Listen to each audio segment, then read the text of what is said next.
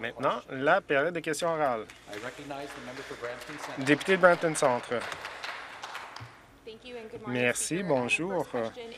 Ma première question est au premier ministre. Hier, le premier ministre a insisté que son gouvernement ne devrait pas être critique, critiqué pour leur sous-financement et leur réponse inadéquate envers la COVID-19 parce que d'autres endroits ont une situation qui est pire. Par contre, les résidents à Brampton, où il y a un taux de positivité de 20% un médecin l'a décrit en étant un chiffre qui, euh, qui nous démontre qu'il y a un grand problème. Il y a maintenant 185 patients dans l'unité des euh, soins intensifs. C'est un lit sur dix dans toute la province.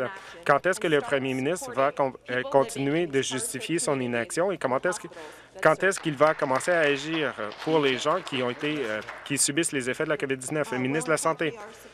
En fait, nous appuyons Peel et toute la région, puisque malheureusement, ils ont dû euh, entamer un confinement, tout comme la Ville de Toronto. Nous reconnaissons qu'ils ont besoin de plus de soutien pour euh, gérer l'augmentation rapide de la COVID-19. Et ce qu'on a fait, c'est qu'on a envoyé plus de personnes pour faire la vérification et la recherche des contacts et pour identifier les gens qui ont la COVID-19 et leurs contacts. Nous augmentons aussi la capacité dans les hôpitaux pour que euh, les gens qui sont euh, en hôpitaux, dans les hôpitaux, euh, puissent y avoir accès. Et nous demandons aussi de l'aide pour les autres endroits qui ont moins de cas pour aider avec la recherche de contacts. Nous savons que Peel fait face à une situation qui est difficile et on veut leur permettre de se sortir du confinement le plus tôt possible et nous leur offrons les ressources pour le faire. Complémentaire à tous les jours, le gouvernement euh, continue de réduire les effets ou de,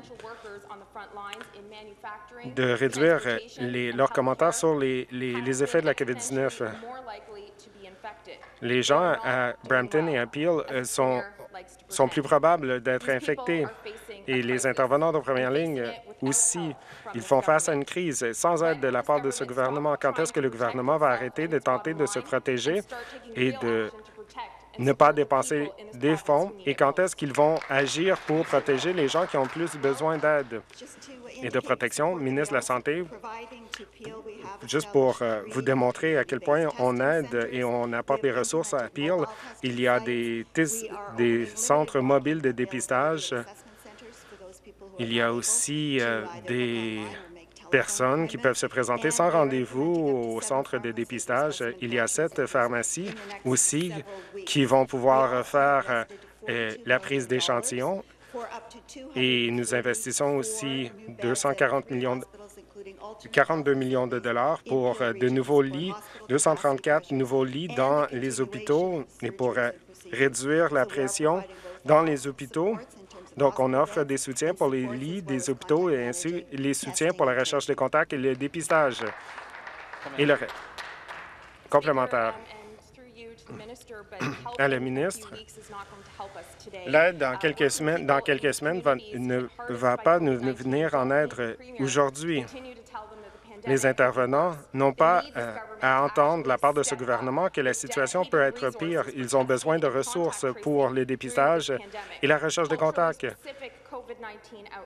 la sensibilisation axée sur la culture des gens et des soutiens directs pour les gens qui travaillent avec eux et de garantir qu'ils peuvent avoir une journée de maladie payée quand est-ce qu'on va voir ces mesures mises en place?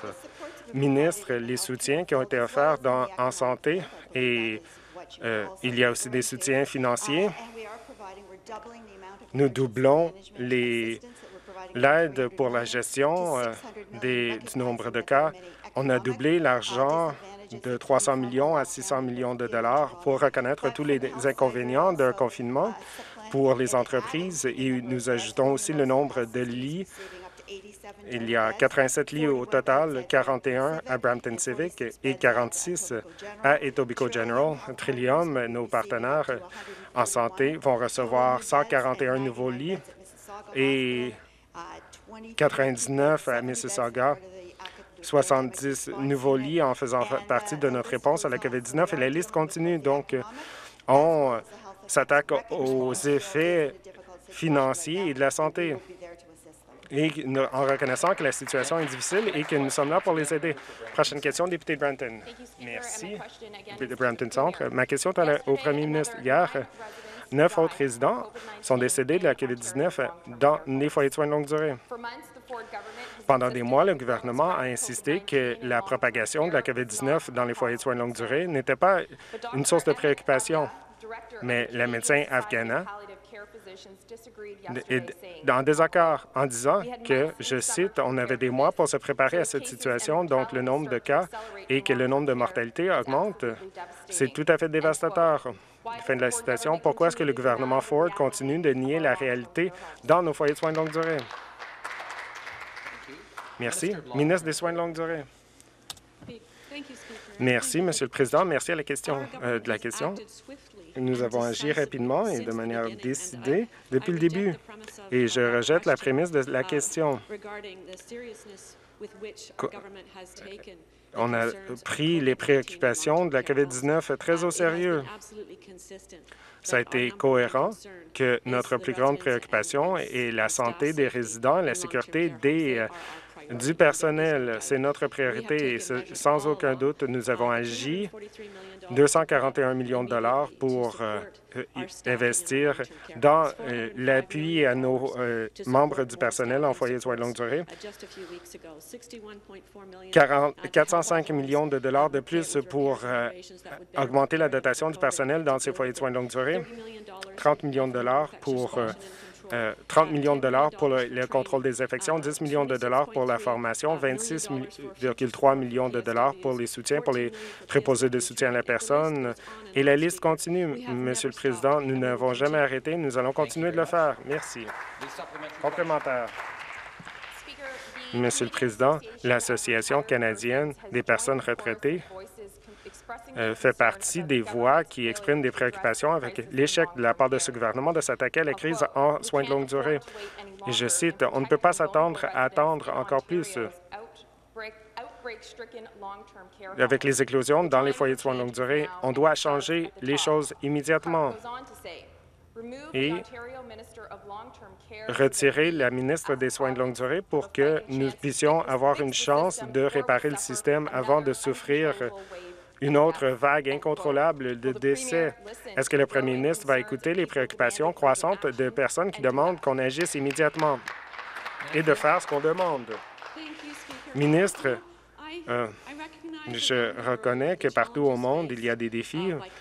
Euh, des pays qui euh, luttent contre la COVID-19. Nous avons travaillé avec nos experts en santé alors que la science a évolué sur la COVID-19. Pour ajouter d'autres couches, la première vague, tout le monde a été touché. on a tiré des leçons de la première vague. Et nous utilisons l'expertise euh, avec nos experts en santé, le, le groupe de commandement, les centaines d'experts qui nous offrent des soutiens de l'information, et cela ne s'est jamais arrêté. Ça continue avec les dépistages dans les foyers de soins de longue durée qu'on va pouvoir déployer bientôt. Il y a une raison pour laquelle on n'a pas pu le faire plus rapidement et on travaille avec nos euh, homologues fédéraux pour avoir accès à ces tests rapides. Mais tout le monde a été touché par la COVID-19 et l'Ontario n'a pas été une exception à cet égard. Nous nous assurons que tout le monde a les équipements de protection personnelle qu'ils ont besoin nos maisons, nos foyers de soins de longue durée se portent beaucoup mieux 92% d'entre eux n'ont pas d'éclosion complémentaire.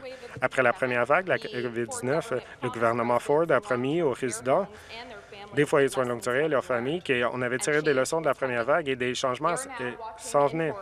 Maintenant, ils regardent alors que le virus se propage partout dans les foyers et le personnel n'est pas préparé. Ils sont pris de court. Le gouvernement a décidé de protéger les exploitants des foyers de soins de longue durée d'une poursuite juridique. Pourquoi est-ce que le gouvernement et le premier ministre protègent sa ministre et non pas de protéger les euh, résidents vulnérables? Adjoint parlementaire de Durham, les personnes et les organisations qui ignorent euh, les mesures sanitaires et qui agissent avec négligence ne seront pas protégés par notre loi la protection contre la responsabilité civile est juste avec la propagation de la COVID-19 de manière non intentionnelle.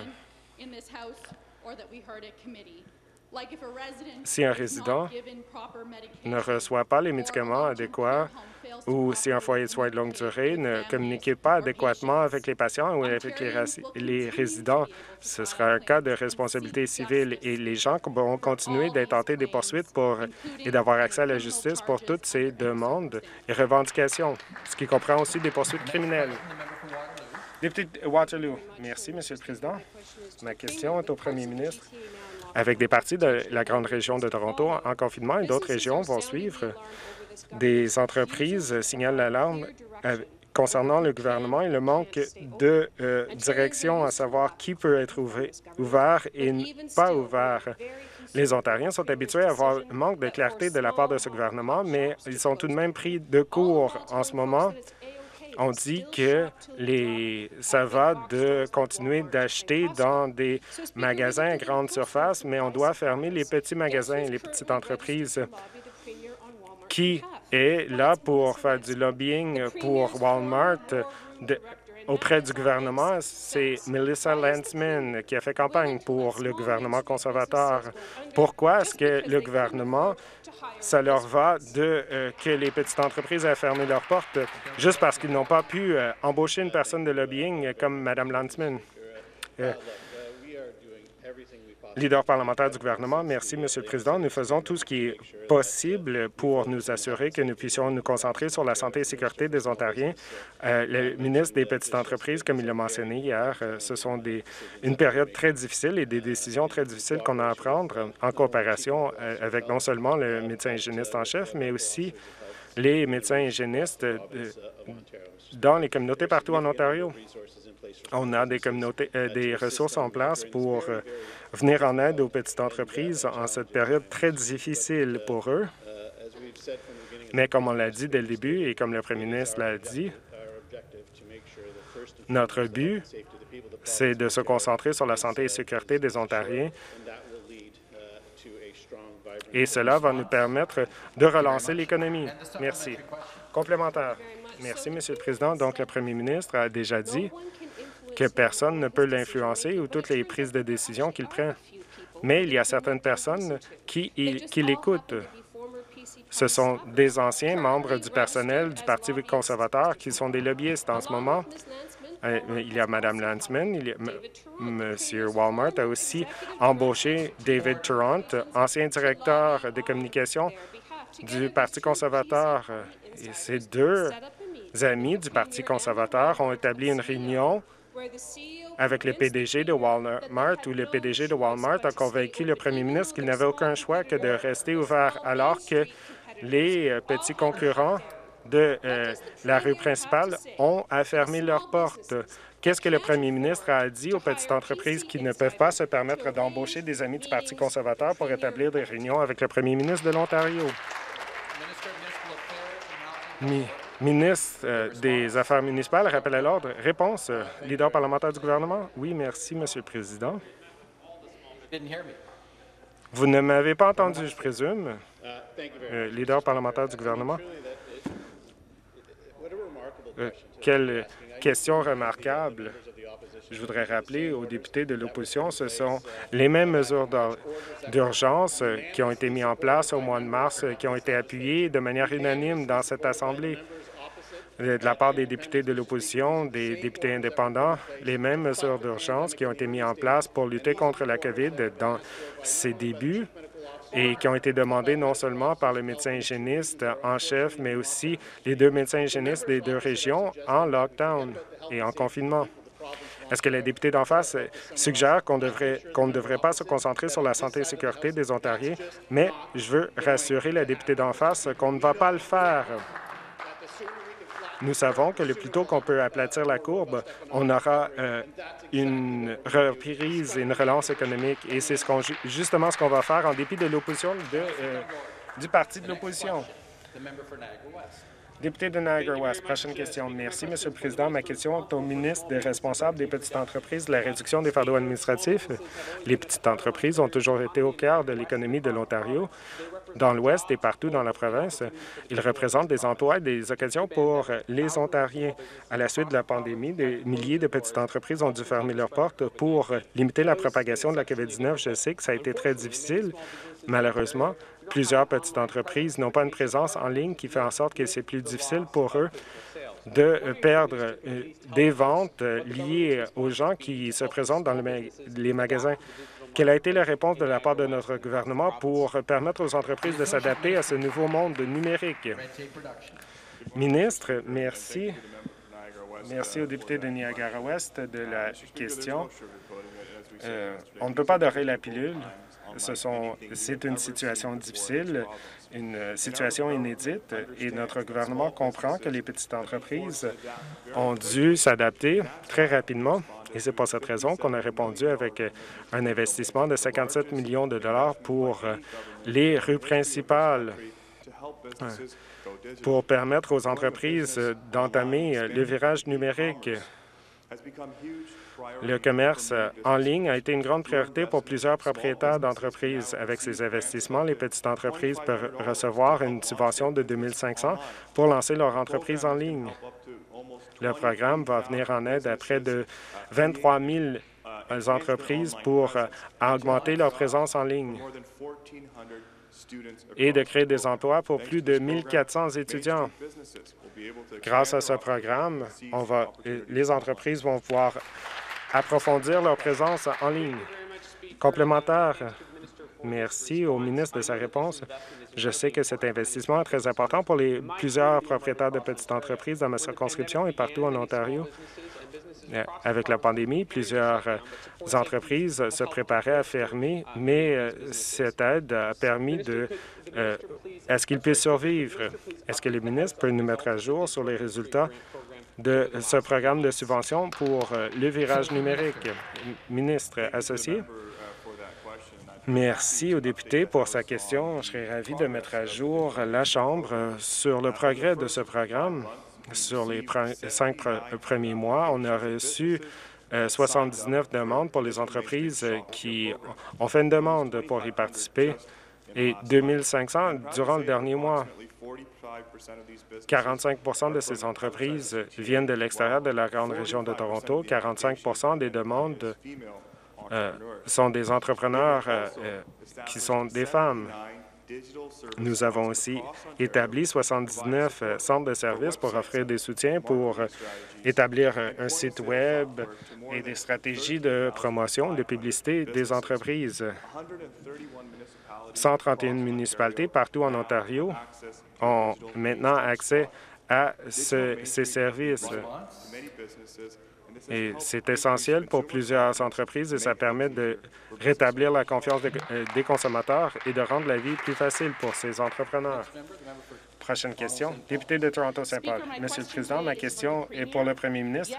Hier, notre Assemblée a adopté une motion pour euh, condamner et dénoncer les propos de M. McVitie haineux et de s'opposer à ce que Canada Christian College puisse devenir une université accréditée.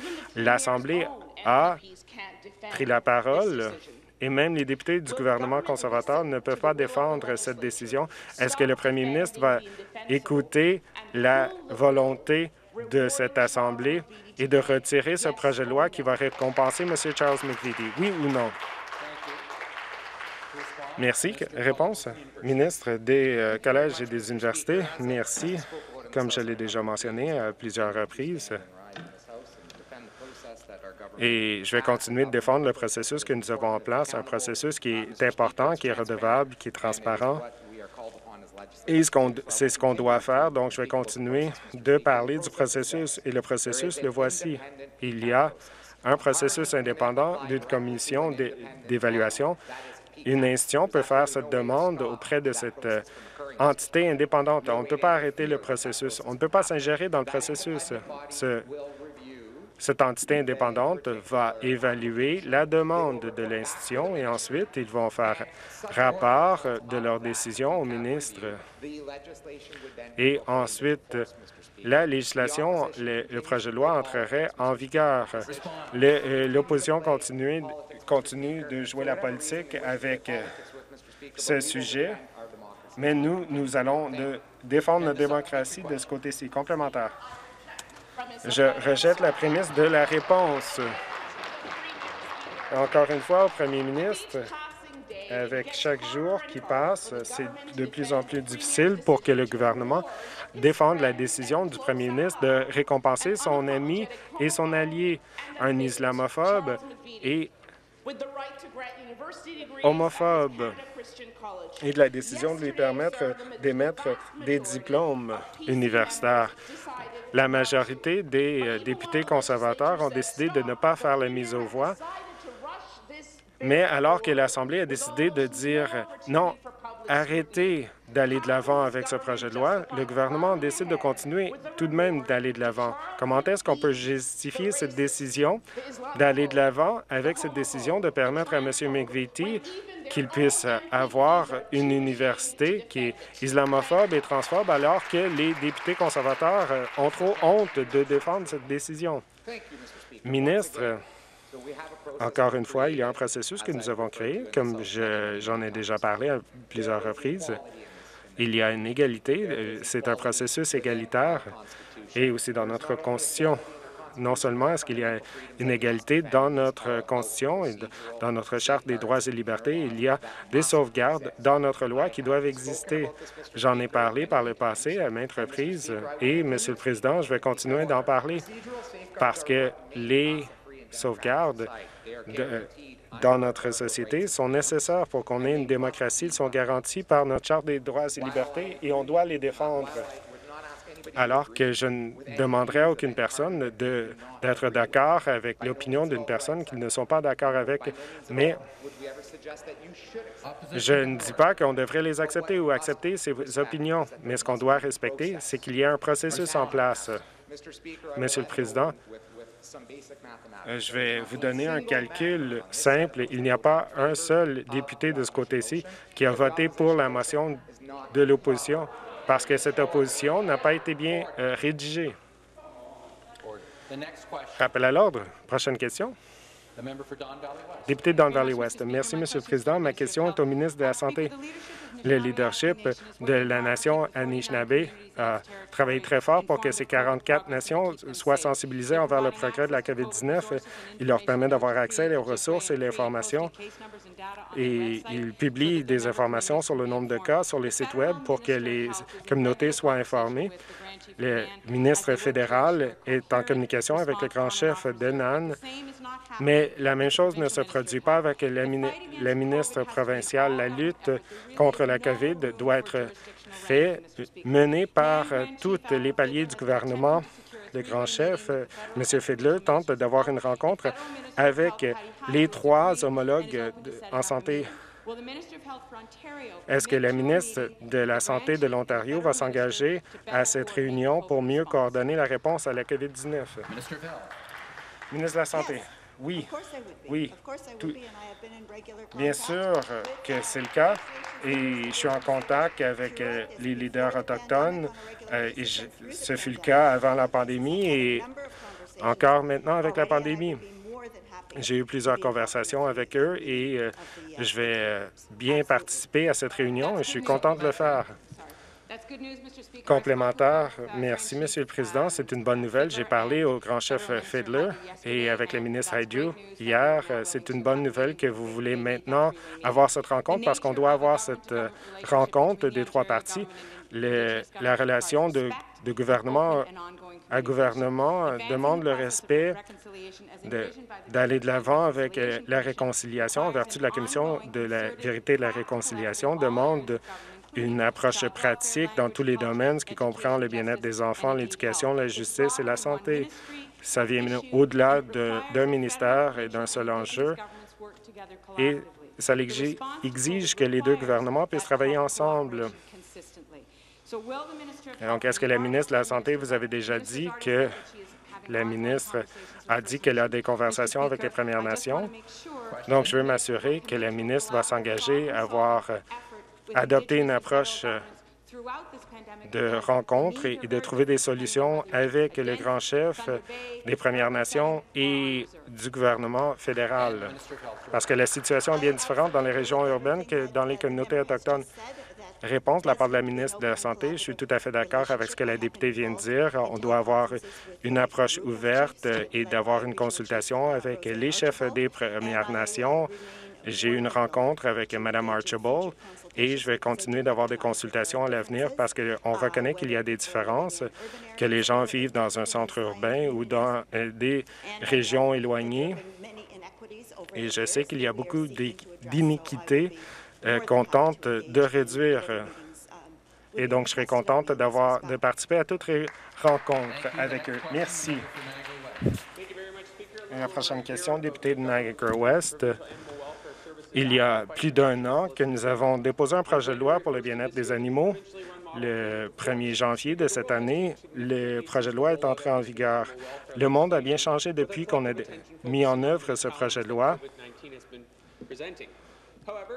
Par contre, les premières lignes et les services publics, ce qui comprend les enquêtes pour le bien-être des animaux, doit continuer de, euh, de participer aux enquêtes.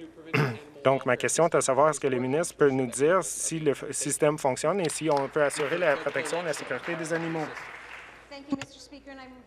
Merci, Monsieur le Président. Je suis fier de répondre à cette question au nom du gouvernement. Depuis que nous avons mis en place le système de bien-être des animaux depuis le début de 2020, nous avons travaillé très fort. Les travailleurs de première ligne se protègent de la COVID-19. Nous avons établi l'objectif d'avoir 1000 inspecteurs sur le bien-être animal partout en Ontario. Nous avons fait du progrès en ce qui concerne cette question.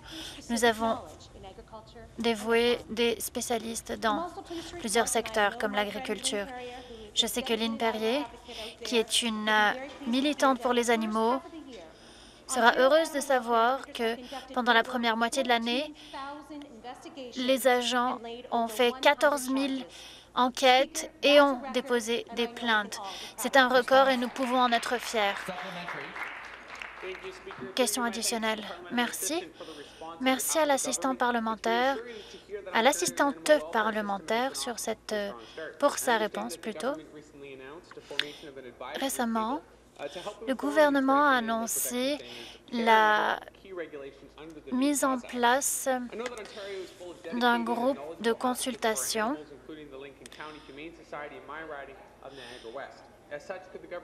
est-ce que le gouvernement pourrait expliquer sa façon d'utiliser euh, les connaissances sur le terrain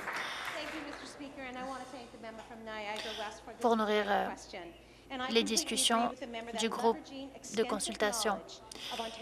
J'aimerais dire que la connaissance des spécialistes et des militants sur le terrain est très importante.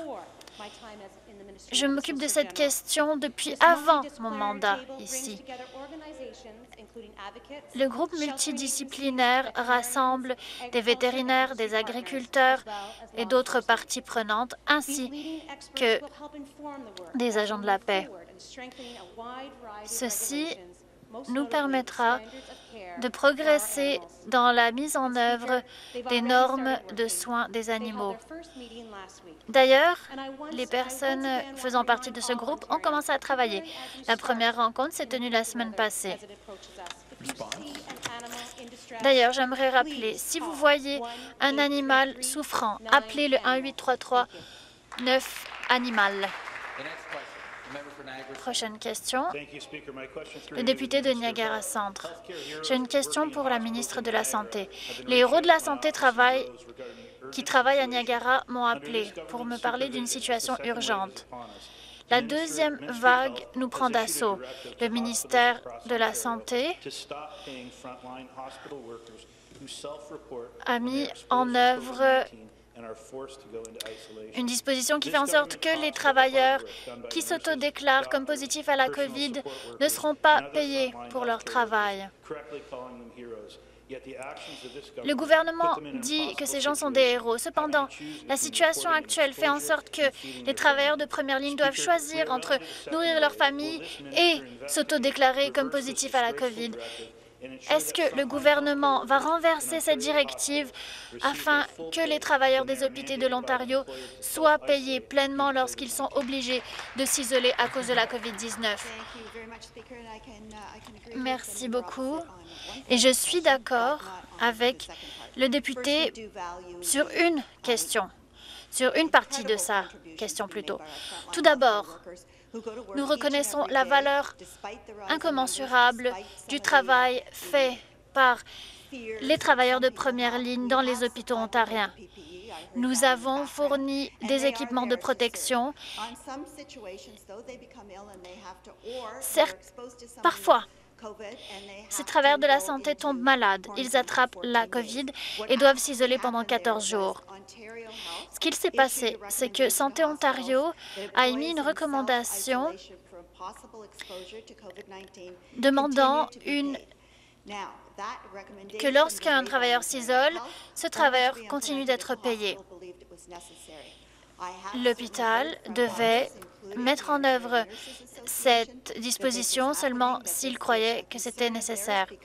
Nous avons entendu l'Association des infirmières parce que, selon l'association, les infirmières ne sont pas payées pour leur temps. Merci beaucoup. Question supplémentaire. Elles étaient payées au début, mais elles ne sont plus payées en ce moment. Ce sont des faits. J'ai entendu dire que des gens ne se faisaient pas payer. J'ai entendu d'autres travailleurs qui disaient que les heures qu'ils ont reçues en paiement devaient être remboursées parce que c'était considéré comme un excédent. Les travailleurs de la santé risquent leur sécurité et leur santé.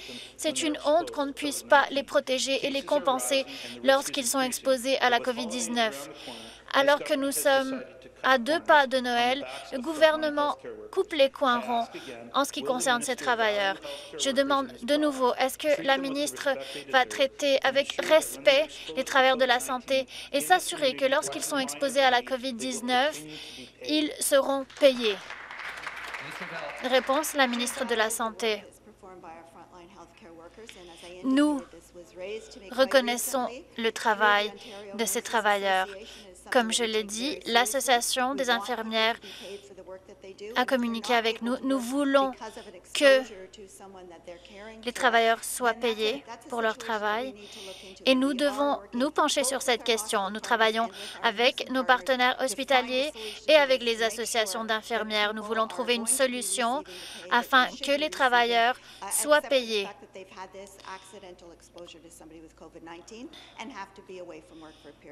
car parfois ils doivent s'absenter du travail à cause d'une isolation.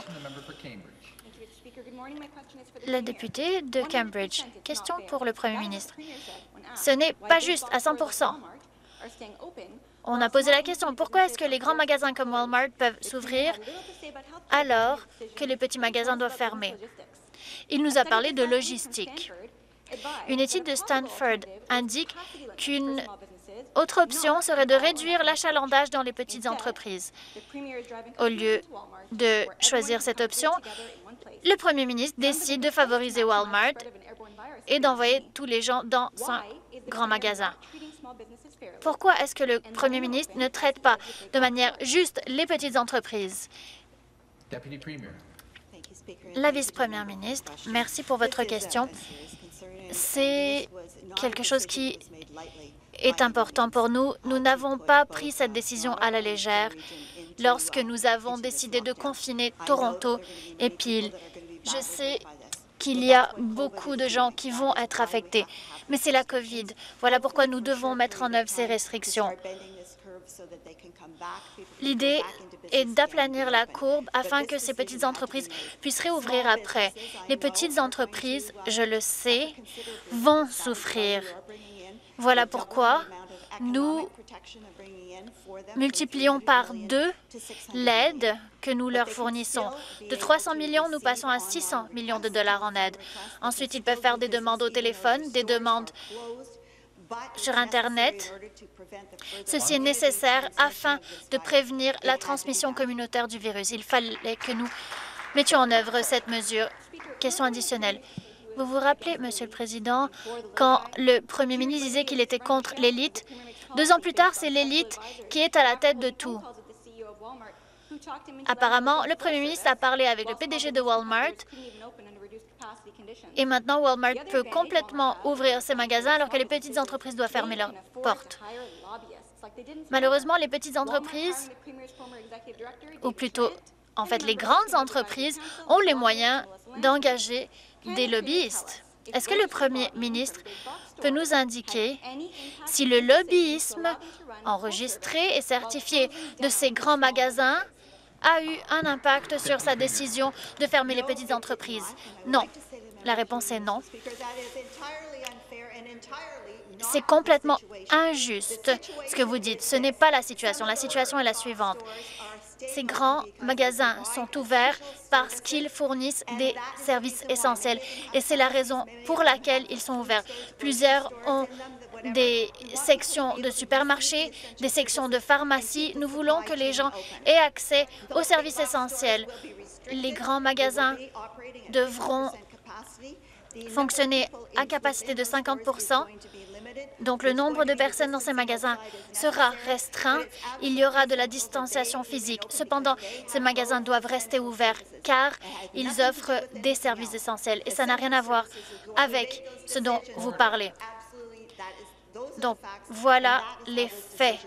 Voilà pourquoi nous avons pris ces décisions. Et nous allons continuer à nous fonder sur les données pour prendre des décisions dans l'avenir. Merci. Question, le député de Niagara-Ouest. Ma question est pour euh, le ministre de l'Environnement, de la Protection et des Parcs. Nous encourageons les industries à contribuer à la relance. Récemment, il a été indiqué que nous pourrions importer moins de gaz des États-Unis, ce qui ferait en sorte qu'on garderait plus d'argent dans nos poches. On voudrait, par exemple, s'intéresser à la technologie de l'azote. Il y a de nouvelles occasions d'avancement je me demande si le ministre de l'Énergie peut nous indiquer si le gouvernement se penche sur les énergies propres et peut-être qu'il pourrait nous expliquer comment cela pourrait aider à la relance. La députée de Barry Annisville, j'aimerais euh, remercier mon collègue pour son travail sur l'hydrogène. L'hydrogène est un gaz qui nous intéresse particulièrement. Nous voulons créer des occasions d'avancement tout en maintenant la qualité de l'air. J'en ai parlé à la conférence Kutrick. Ensuite, le ministre a rencontré plusieurs acteurs de secteurs comme le secteur de l'hydrogène. L'idée est de stimuler notre économie. Il y a énormément de potentiel dans l'hydrogène, que ce soit pour les bateaux, pour les véhicules ou pour les industries. L'hydrogène peut également être utilisé pour le chauffage. Réponse.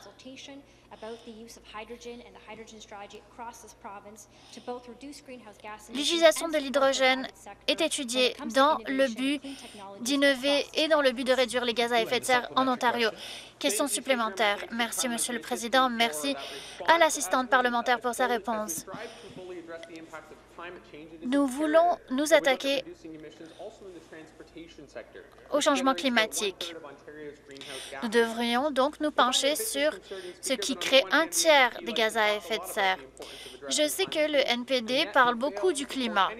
Malheureusement, le NPD ne soutient aucune proposition de notre côté. Par exemple, le NPD s'est opposé à un projet de loi sur le transport récent.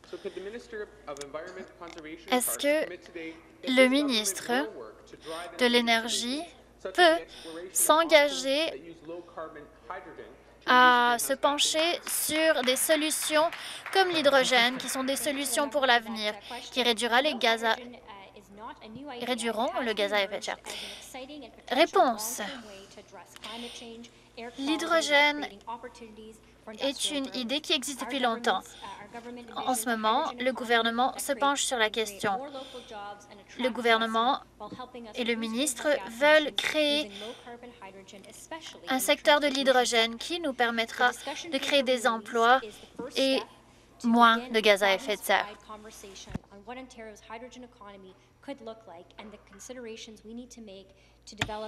Une étude est en train d'être faite à savoir comment l'Ontario se comporterait avec une utilisation accrue de l'hydrogène.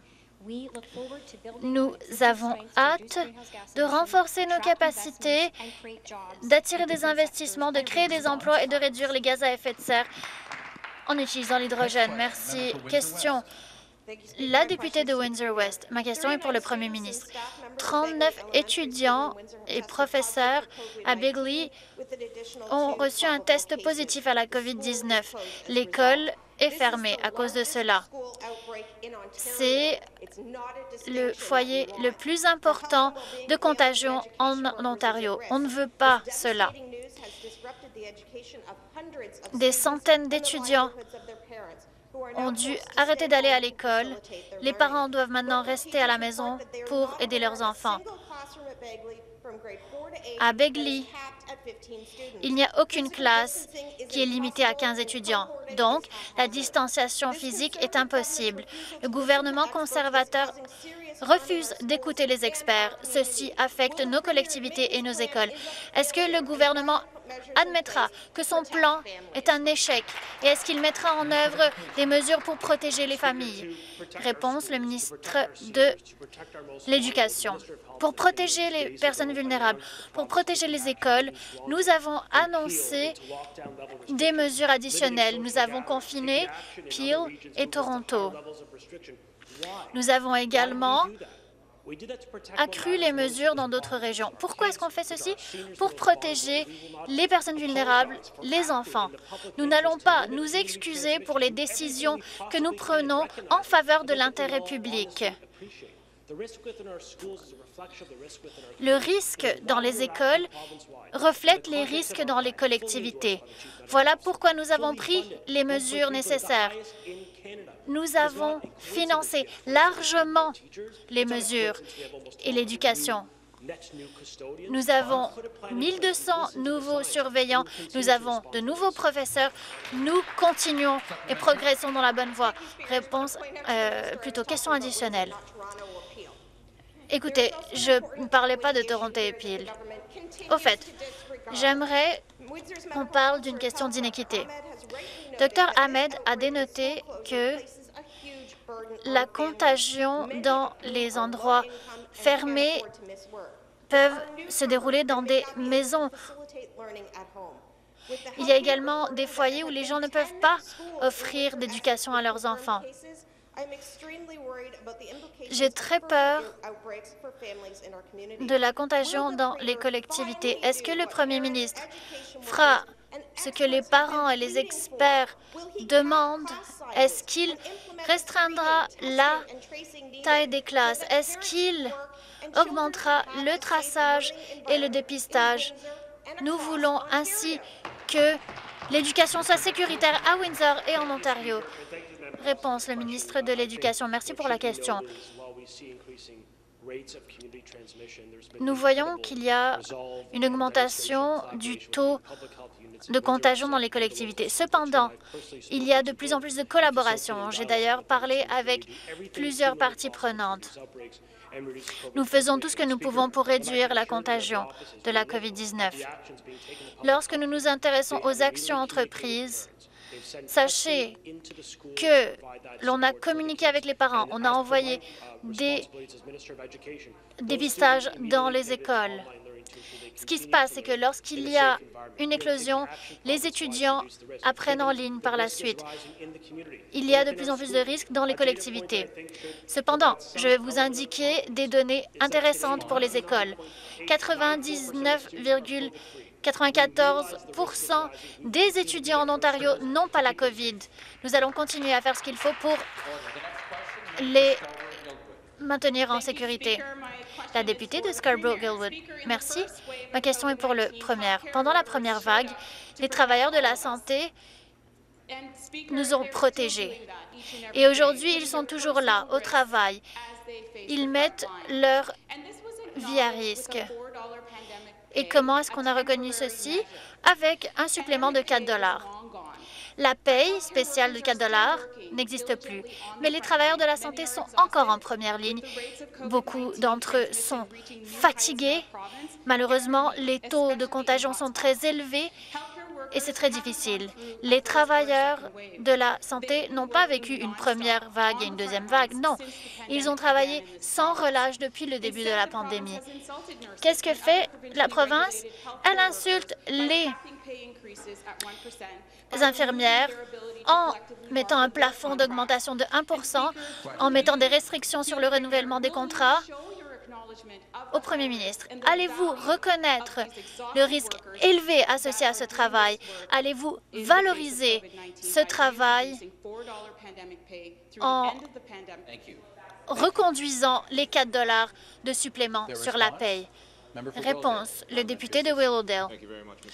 Merci, Monsieur le Président. Nous apprécions le travail sans relâche effectué par les travailleurs de la santé. Voilà pourquoi nous avons mis en œuvre des mesures qui bonifient les payes. J'aimerais d'ailleurs reconnaître les travailleurs de la santé de ma région. Nous faisons en sorte de reconnaître ce travail tout en respectant le travail des contribuables. Nous allons nous assurer que les projets de loi futurs ne mettront pas de bâton dans les rues dans le processus de négociation.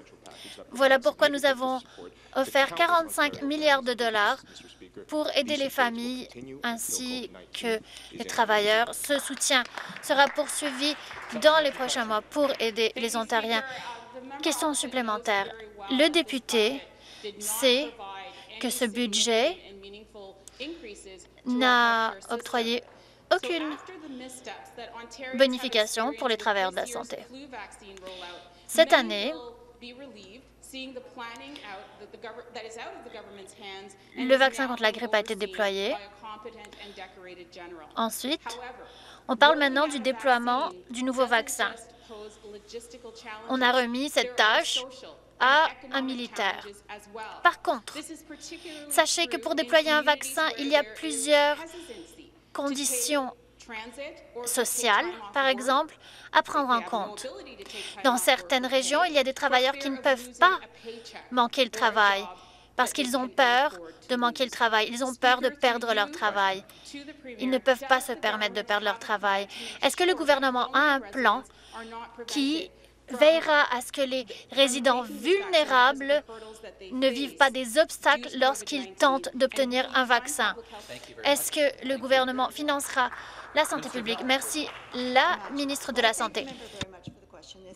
Merci pour votre question. C'est une question très importante. Ça fait des mois que nous vivons la COVID. Voilà la lumière au bout du tunnel. Nous avons des vaccins de Pfizer, Moderna et AstraZeneca. Ces trois vaccins seront offerts dans le marché très bientôt. Nous voulons ainsi nous attaquer à toutes les problématiques que nous connaissons. Voilà pourquoi nous avons nommé le général Hilliard. Il sera à la tête du groupe de travail et de mise en œuvre du vaccin. Nous allons travailler avec toutes les autorités de santé locales. Nous allons travailler avec les collectivités afin de préciser et de comprendre les barrières à l'accès. Ainsi, lorsque le vaccin arrive en Ontario, nous allons pouvoir rapidement déployer le vaccin et l'offrir à ceux qui en ont besoin. Ainsi, nous allons faire en sorte de pallier tous les problèmes comme le transport, le travail, etc. Question la députée de Hamilton West. Ma question est pour le Premier ministre. Il y a 100 éclosions dans les foyers de soins de longue durée. À Chartwell-Willowgrow, il y a une éclosion qui ne cesse de prendre de l'ampleur. Des gens sont décédés. Nous pleurons ces morts. Des travailleurs travaillent sans relâche dans ces centres. Ils ont besoin d'aide.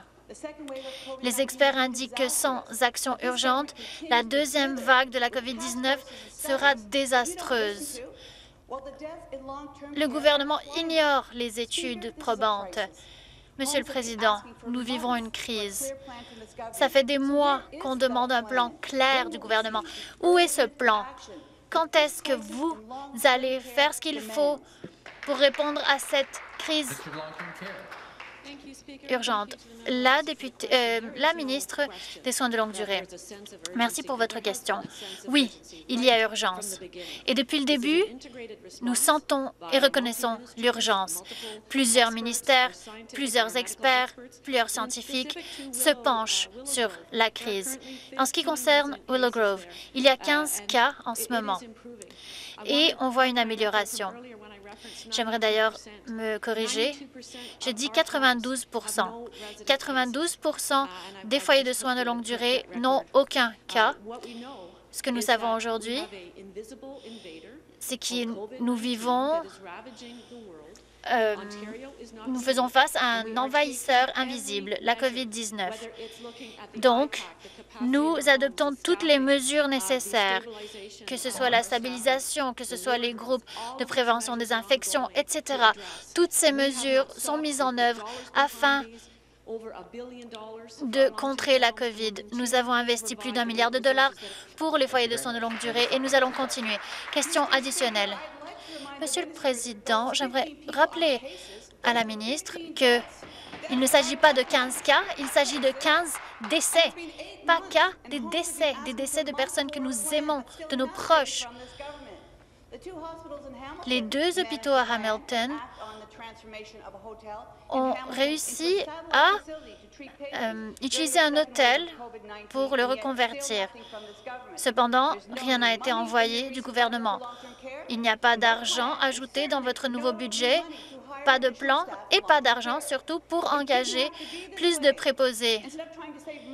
Au lieu d'essayer d'économiser de l'argent, vous auriez pu essayer de sauver des vies. Les travailleurs sont épuisés, les familles ont peur et nos personnes âgées sont encore plus vulnérables. Aujourd'hui, pourquoi est-ce que le gouvernement ne veut pas faire avec urgence ce qu'il faut pour sauver des vies dans les foyers de soins de longue durée?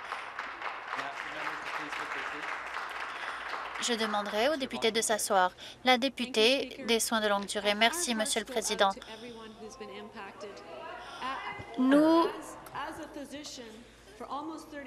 nous souffrons avec ces familles. Écoutez, j'ai été médecin et j'ai vu la tristesse, j'ai vu le deuil. Voilà pourquoi notre gouvernement met en œuvre plus de 40 millions de dollars pour aider. Ensuite, 400 millions de dollars et plus pour le soutien et, et la prévention des infections, etc.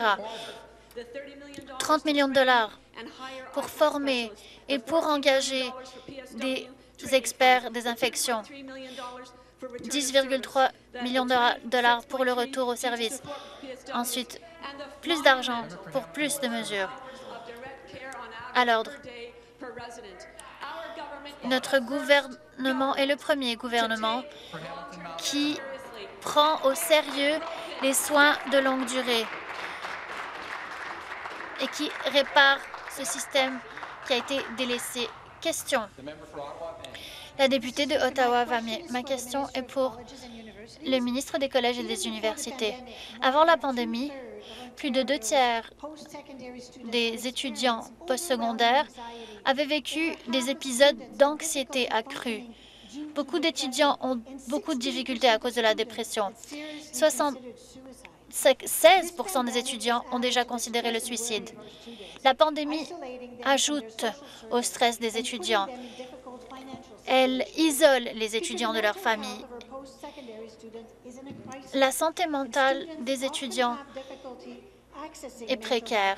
Malheureusement, les étudiants ont peu d'accès aux services de soins de santé mentale. Cela peut prendre des semaines avant de pouvoir voir un psychologue. Ces étudiants ont besoin d'aide. Que fait le gouvernement aujourd'hui pour aider les étudiants du postsecondaire? En ce qui concerne leur santé mentale. Le ministre des collèges et des universités. Merci. Je suis heureux de pouvoir répondre à cette question. Le gouvernement reconnaît l'importance de la santé mentale. Plusieurs fois, nous avons dit que la santé mentale, c'est la santé.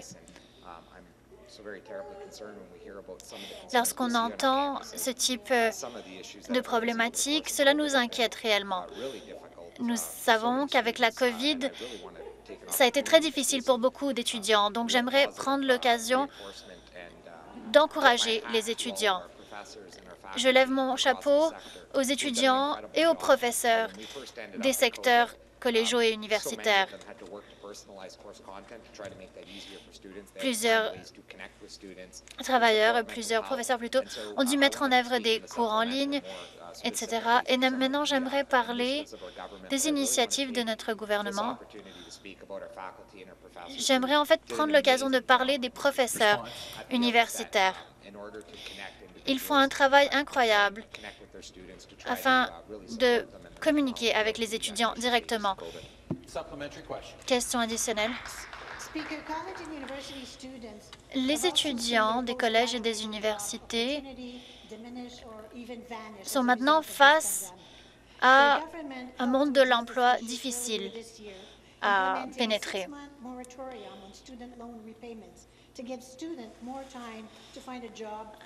Une demande a été faite sur un moratoire en ce qui concerne le remboursement des euh, prêts de frais de scolarité, de prêts étudiants plutôt. Malheureusement, le moratoire a pris fin en septembre. J'ai rencontré des présidents étudiants récemment. Ces présidents d'associations étudiantes demandent au gouvernement que celui-ci permette aux diplômés de prendre plus de temps pour pouvoir repayer leurs dettes étudiantes. Est-ce que le ministre peut expliquer pourquoi le moratoire n'a pas été prolongé dans le but de soutenir et d'aider les diplômés des universités? Merci, Monsieur le Président. J'aimerais rebondir sur certains commentaires. En ce qui concerne la santé mentale, vous savez que nous avons investi 1, que nous allons investir 1,3 milliard de dollars sur les dix prochaines années. Nous avons octroyé plus de 2 millions de dollars le programme Good to Talk est un programme de 5,6 millions de dollars. Je suis très heureux de ce programme. C'est un programme exceptionnel, surtout dans le contexte de la COVID. Pour beaucoup d'étudiants, il est difficile d'établir cette première connexion.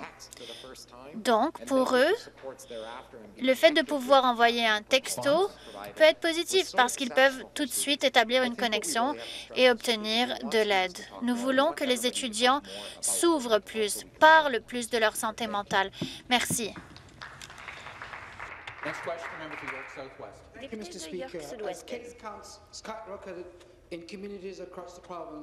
Dans les collectivités de la province, c'est important d'avoir un test rapide pour la COVID.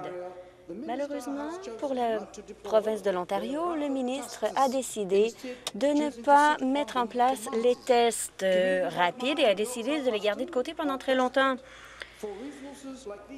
Alors que mes commettants sont désespérés d'avoir de telles ressources, combien de ces tests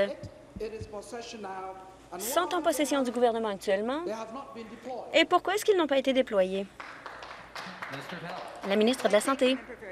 Je remercie le député de sa question. Vous avez raison, les tests rapides changeront vraiment la donne, comme ça a été dit, tout particulièrement dans les foyers de soins de longue durée, dans les communautés éloignées et autres emplacements. Mais je peux vous dire qu'on a reçu 98 000 de ces tests, 1,2 des pannes bio, 1,2 million des pannes bio qui ont été envoyés aux hôpitaux et aux foyers de soins de longue durée et autres foyers de groupe. Ils sont déployés, seront utilisés au cours des trois prochains jours et j'en aurai plus à dire à 13 heures cet après-midi. Complémentaire. C'est inacceptable de garder ces tests de côté alors que les gens tombent malades dans des collectivités comme la mienne qui sentent vraiment la dévastation de tout. Les travailleurs méritent mieux. Je vous demande de nouveau, pourquoi est-ce que le gouvernement a dépensé un mois à garder de côté ces tests rapides? Plutôt que de les utiliser pour identifier des cas et assurer la sécurité des gens? La ministre de la Santé. Aux députés, on n'est pas, on n'a pas gardé ces caisses de côté. On les a déployées de façon active là où elles sont nécessaires. On fait face à des situations où les gens veulent visiter leurs êtres chers dans les foyers de soins de longue durée. le personnel veut être testé, tout particulièrement dans les zones à risque. Les gens seront testés de façon hebdomadaire. Nous en avons aussi besoin dans nos hôpitaux. Voilà où on les envoie, ces tests actuellement. Et plus, lorsqu'on en recevra plus, nous les enverrons à plus d'hôpitaux. Le besoin est urgent, on le reconnaît, et on déploie ces tests rapidement. Merci. C'est tout le temps qu'on avait pour la période des questions.